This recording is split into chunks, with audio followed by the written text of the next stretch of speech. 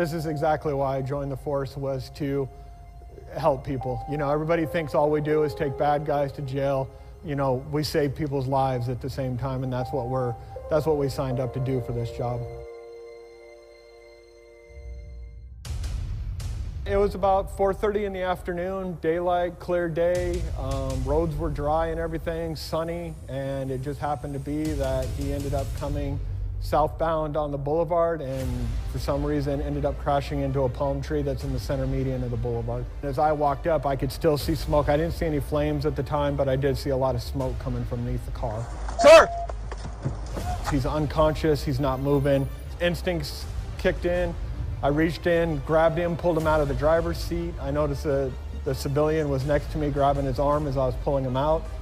Just as I got him to the ground away from the car, the car went up in flames and smoke.